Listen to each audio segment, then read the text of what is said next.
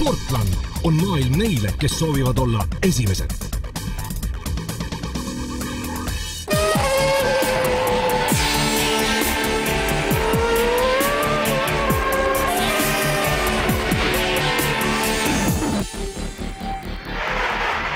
tere tulemast mootorite maailma, ütleme seekord Paikuselt. algamas on nii Eesti kui Balti meistrivõistluste eelviimane etapp kestvus motokrossis. Minu selja taga on kohal sisse võtnud seitsekümmend soolotsiklit, kohe läheb lahinguks. soolotsiklite kahetunniseks maratoniks valmistusid nelja riigi sõitjad, nende järel ootasid oma järge veel neljarattalised quadreicerid ja ATV-d ja praegu tundub küll, et nagu sujub, et eks, eks näeb, et palju siin pärast taga kisamisi tuleb, et võib-olla kõigile ei meeldi see, et äh, väga porine on ja eks ta niisugune on, et ühele meeldib üks asi, teisele teise asi, et ega siis kõigi järgi ei saagi teha, et võidusõit on võidusõit ja kõigil on võrdsed võimalused ja ühesugused tingimused, nii et peavad leppima sellega. kiiremad soolomehed lootsid teha seitse-kaheksa kilomeetri pikkust ringi ja üks favoriit oli loomulikult Martin Leok, kes sellel hooajal siirdus üle Endurole ja tegi Saksamaal karastuse kuulsal kuue päeva võidusõidul stardijoonel on tsiklil juba valvele pannud koht on välja valitud. no vaatame siin, näed, siis peaks ikka sisekurve rohkem võtma, et aga noh, kui käsi on väle, eks siis läheb esimese käima ja eks, eks saab see nalja, nali pihta jälle, ütleme, saab, saab natuke nautida sõitu ja ma arvan, ma arvan, väga hea võistlus. vähemalt taevaluugid on täna kinni. no see on küll hea, hea, nädal aega on sadanud ja või praegu küll, et väga hea ilm. Räägi, kuidas see kahe tunni võistlus on võrreldatud selle kuuepäevase kannatusega, mis te Saksamaal läbi tegite? ütleme see, et see kuue päeva asi oli, see oli ikka natuke nagu noh, üle jõu oli natuke, aga, aga ei, väga hea oli, et äh, tulime kindlalt lõpuni ja, ja, ja, ja neljas päev oligi raskem, aga kõik oli hea muidu. see oli selle esimene kogemus, et said targemaks ka? väga palju, sest äh, hästi-hästi-hästi rasked rajad, rajad olid ja ütleme, et kerged kellelegi seal. nüüd tuli kiirustada, et stardijoonel võimalikult hea positsioon leida. kõigile esireas siiski kohta ei jätkunud. lihtsalt ei olnud muud võimalust, pidin, pidin sellega leppima et siin on nii, et kes ees, see mees, jah? jah, siin on Läti meistrivõistluste arvestussüsteem käib kuidagi teistmoodi, mitte tabeli esimesed kolm, aga, aga kuidagi jooksvalt, kes boksi toob aga no vahet pole, ega ütleme nii, et ega rada on üliraske, siin ei ole mingit vahet, et äh, põhiline, et sa silmadega jälgid, siis sa võid viis minti hiljem ka siit minna, aga lõpp, lõpptulemus on ikka sama. no samas see teine rida stardis teeb asja sul natuke kehvemaks alguses. no algul teeb, võib-olla prilli saab natuke mustaks ja, aga samas on äh, selles suhtes on hea, et äh, kui see punt läheb ennem metsa, siis näeb ära, kes kusagile kinni jääb, et saab vähemalt rada valida. selles suhtes on nagu parem. aga kõik räägivad, et ilmus pehme on rada, oled sa saanud pilku peale visata ka, mis siis ees ootab? no ma enam-vähem tean, sest mu õpilane eile käis tiiru läbi, ütles, et noh, nii hullu pole kunagi olnud ja nii ütleb Toits ise ka, et eks siin ütleme, ujuda, ujuda saab noh. Paikuse motoklubi eestvedaja Toivo Pensios oli korraldajana veidi murelik. Nende aastate jooksul, mis me siin korraldanud oleme, on see aasta ikka väga keeruline olukord, et vett on nii palju tulnud ja väga palju tuleb vees ja poris sõita, et väga-väga palju tuleb vaadata ringi, et sa ei sõidaks valesse kohta aga rõõmu teeb kindlasti see, ma vaatan, et see vägi, mis siin sinu selja taga ootab stardijärgi, et see on ikka päris võimas. Ei, see on hea, et ikkagi pole käega löödud, et ikkagi tulevad, sõidavad ja näevad vaeva, et ikkagi huvi on, see on tore. mis sa arvad, see taktika peaks olema siin? no ei tohi võtta, tormama hakata, tuleb rahulikult sõita, vaadata oma kindlad head sooned välja otsida ja siis saab nagu edasi liikuda, et ei ole mõtet kuskile auku sõita ja pärast tõsta ja kaevata ja väsitada ennast. millal sul tankimine on plaanis? tunni pealt tuleb stardimomenti tahtsid kõik näha ja nii kiirustas ka publik kohtadele. eliitklassi esireas olid võrdselt eestlasi, soomlasi ja lätlasi. õhus oli tunda pinget ja alles kolmandal korral stardiprotseduur lõpuks õnnestus ja head kiirust näitasid seekord lätlased. stardipauk käis ja, ja ütleme tegelikult sai hästi minema, on te, teine Timo järele, aga me eksisime ühes kurvis ja kaks lätlast said mööda kohe. Ja siis ta esimene ring avati, niisugune tuld tuli, tuli pandi niisugune takka, et ma mõtlesin, mis nüüd, mis nüüd, kus nüüd tuli läheb, mis see nüüd on? huvis Klimonsi endise krossimehe algus oli väga raju. nüüd oli küsimus rohkem selles, millal ta nii-öelda ära kukub, sest kahetunnine sõit nõuab ka tarka taktikat. Toivo Pensios üritas oma klassi poodiumi kohta ja aluse sellele pani väga hea start. jah, start on läinud ilusti terve see aasta ei ole alt vedanud.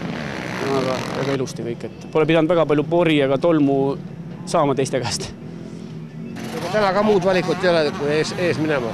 täna kindlasti ei olnud ka, et täna oli pori ka palju, et jääd sinna punti sisse, siis on ju, viskavad seda pori täis ja võib üle kuumenema hakata, igast hädad hakkavad, võivad hakata, et lööb radiaatorid umbe. täna läks ilusti absoluutarvesse esikümneski jõudsid viis eestlast, neli lätlast ja vaid üks soomlane. Kõige tugevam oligi just lätlaste positsioon, sest liidriks tõusnud Martin Leoki selja taga oli koguni kolm lõunanaabrit. peale teist ringi isa ütles mulle, et ma vaatan nelikümmend sekundit juba esimesele ja siis nagu noh, niisugune väike, väike lootus korraks kadus, noh. aga siis ikkagi mõtlesin, et pingutan ühe ringi, et vaata, mis saab, mis juhtub, noh.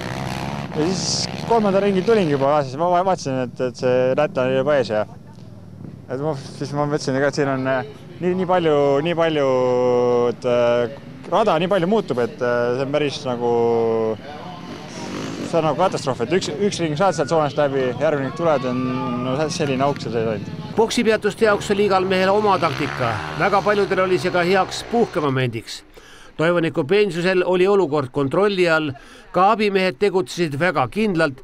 vahepeal lipsas küll mööda Läti kamraad Einar Svinters, aga tema sõitis seekord teises klassis. Liider Martin Leok oli selleks ajaks juba teise lätlase Ugis Klimonsi kaugele selja taha jätnud.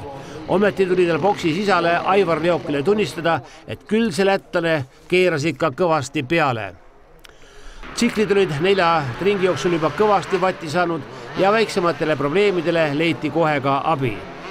kahe tunniga suutsid seitse ringi kirja saada täpselt tosin meest, neist seitse eestlast. kolmeteistkümnes oli Ralf Otto Rootsma, kaheteistkümnes Timo Mõts, kümnes Riho Keerme, üheksas Gerd Pääbo ja kuues ning eestlasest kolmas Egon Üpraus, viies ja eestlastest teine Toivo Nikopensius.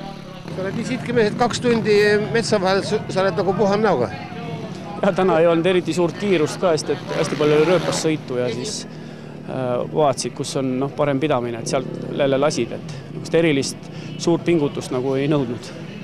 kas kartsid, et rada on hullem, kui tegelikult oli või? Ja mul oli tegelikult väga suur hirm just selle äh, üks turbotee, mis meil on, see sirge, mis on aastaid tegelikult küllalt pehme olnud, aga see aasta see vihm tegi ta muidugi väga hulluks. aga tegelikult äh, täitsa kannatab sõita, et ei olnudki.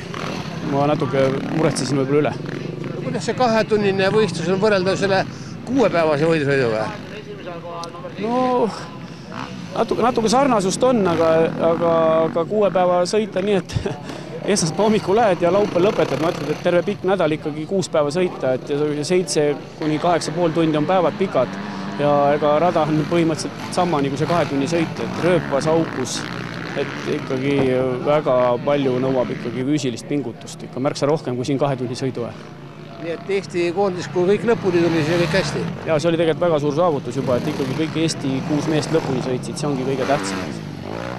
Su-, suutsid see aasta kõik palju kokku ennast võtta ja tehnika val-, ette valmistada, et kõik tulid finišisse. Martin Leokit tuli veel oodata, head rütmi hoidis ta lõpuni ja oli kuueminutilise ülekaaluga kindel võidumees, tehes koos lätlase Edgar Silitsiga ainsatena kaheksa ringi Toivole väga kõvad sõnad, et ta üldse niisuguse asja tegi, et niisuguse, äh, niisuguse raja, niisuguse raja, niisugune rada ette valmistada. Ma ei tea, kas üldse, kas keegi on Eestis võimeline niisugust asja tegema, et just see paikusrada ette valmistada, et siin on, oli kõvasti tööd tehtud, ma nägin. et Toivole palju, palju jak-, jaksu on tal kõvasti. sul endal jaks otsa ei lõppenud, sõidu otsas ka mitte? eks ta ikka väsimus tuli peale, aga, aga, aga lõpus oligi, et vaatasin ka, et juba oli nelja minuti käes, et võtan natuke rahulikumalt, et muidu ma keeran kuhugi ära veel ennast, et natuke rahulikult, aga ei, aga ei saa ütelda, et ära, ära üldse ei väsinud, et ikka, ikka oli niisugune nagu loid tunne, aga väga hea oli. ilm oli ilus, jah? ei, ilmataat küll täna üllatas, et äh, kõigil nii hästi läks, et paremini minna enam ei saanud seejärel tulid rajale neljarattalised sõiduriistad, kõigepealt lihvisid lühemat ringi kõige nooremad viiekümne kuubikulistel kvadriistaritel, kus viieteist minuti jooksul oli esikolmik Kristen Kuti, Mihkel Sulajõe ja Tanel Põdra. Saja ja kahesaja kuubikulisi oli stardijoonel juba rohkem ja nemad sõitsid ka pikemal ringil. ülekaalukas võitja oli Martin Adamson, kes edestas Kevin Saart kolmekümne viie sekundiga. kolmaski poiss Brandon Bogatšov tegi seitse ringi, ometi jäi ta võitjale juba rohkem kui kahe minutiga alla. täismeeste sõidukontrollijaks oli juba poolteist tundi. ATV-de üks favoriite oli Taavi Raadik. Taavi, kui palju nüüd seda rada muudeti enne teie starti? Enne meie starti võeti see tagantraba võeti välja, et kahjuks me quadreistrid upuks ära sinna vist ilmselt. oled ringi vaadanud ka, kas kõik need mehed on kohal, kellega sa tahad võidu sõita siin? no need, kes nüüd sügisest veel järgi on jäänud, on ikka kõik kohal jah. aga võrreldes kevadega on meid ikka päris palju vähemaks jäänud. mis see põhjus on siis ATV-del? no eks ta ilmselt jääb raha taha kinni ikka tegelikult, et noh, eks ta on ja eks nad lagunevad ju rohkem kui kõik muud, mõni on ka quadreisteri peale üle läinud või? ja ikka. ja võib-olla isegi järgmisest aastast. tähendab, et see ei paku sulle enam nii palju pinget või? ma ei tea, tahaks sõita rohkem kui remontida, et selles suhtes ongi. poolteist tundi, ega see on päris pikk maraton, niisugune taktika peaks olema siin.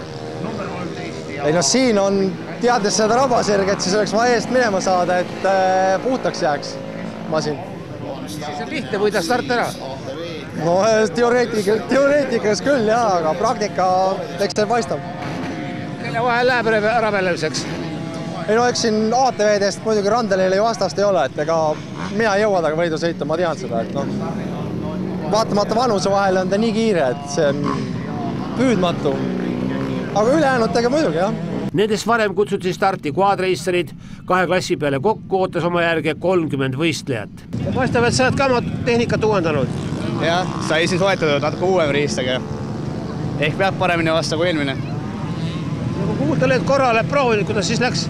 siis läks hästi, et eelmine või üle-eelmine nädalavahetus käisime Leedus Balti meistrivõistlustel kestvuskrossis, et sealt tuli võit ära.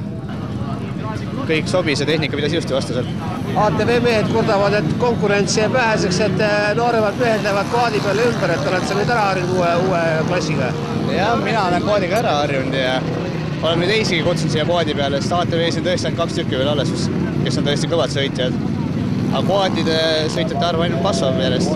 läbi aastate on kvaadreiseritel väga edukas olnud Eesti selle ala üks pioneere Martin Toovis. Seekord jäi ta stardis küll selgelt magama, samal ajal kui Siim Vaide pika rivi ees esimesse kurvi sööstis. kohe nende järel alustasid ATV-d ja seal said parimad positsioonid sisse lätlased pika sõidu jooksul juhtus nii mõndagi, kvaadreiseritel pääses küll algul ette Kaspar Kangur ja hoidis liidri kohta peasõidu lõpuni, kuid ometi võtsid kaks kõrgemat kohta hoopis lätlased. parima eestlasena oli kolmas Martin Toovis, viies Argo Abel, seitsmes Mart Montvilla. probleemide küüsi langesid nii Kaspar Kangur kui Siim Vaide. KTV-de läks esikoht Lätimaale, Taavi Raadik oli küll kiirem Karlis Soikast, kuid pidi ometi leppima lõpuks teise kohaga. kolmanda koha sõitis välja Tanel Veerpalu, olles ühtlasi oma klassi võitja nii Eesti kui Balti meistrivõistluste viimane ja otsustav etapp sõidetakse Haapsalus, korraldajaks motoklubi Lääne. meil on ka seal probleeme ikkagi, tegelikult mõned kohad tuleb ümber teha, kuna see aasta on nii palju sadanud, et lihtsalt ei ole variante, et ma tahaks ikkagi teha nagu rohkem nagu äh, krossi moodi kestvuskrossi kui, kui ütleme, mototurismi. kuidas sündmused Kilsi lennuväljal arenesid, sellest juba meie järgmises saates tänaseks kõik, aitäh vaatamast, mootorite maailmas kohtume taas järgmisel pühapäeval, seniks kõike head.